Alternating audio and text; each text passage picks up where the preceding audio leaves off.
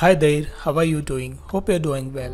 This is Ramesh and welcome to Easy Classes. In this video, I'm going to show you how to fix a PC that will turn on but no signal on your computer monitor. Yes guys, we can easily fix the no signal error in this video. Yes, there is a simple trick with the RAM.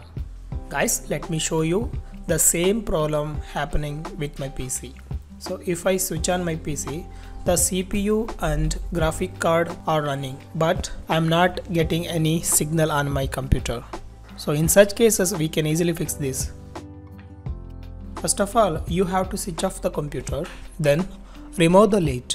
Don't worry, we have to remove RAM only. Now find the RAM and carefully remove from the motherboard.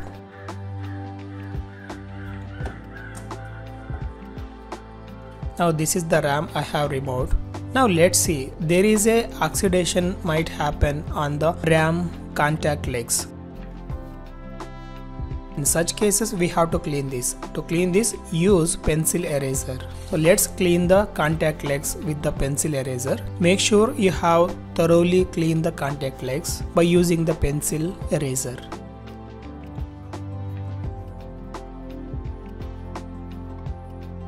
But you can see here, if you not clean well, then some oxidation might be there as you can see now. So let's clean the all leg thoroughly and make sure the all legs are shining.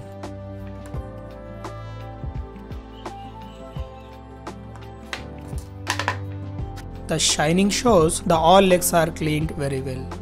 Now you can see I have cleaned very well. The all contact legs are oxidation free now. Now reinsert the RAM after cleaning. Make sure you have properly installed.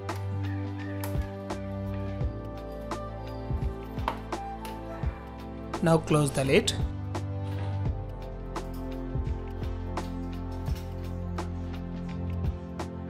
Then switch on the computer. Let's see what happens.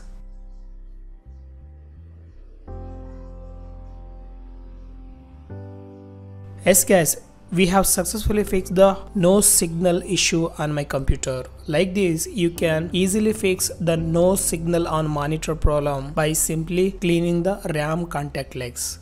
That's it friends. Hope you enjoyed this video. If you like this video, please consider subscribing to our channel and hit the bell icon. I will meet you in the next exciting video like this. Till then, bye bye.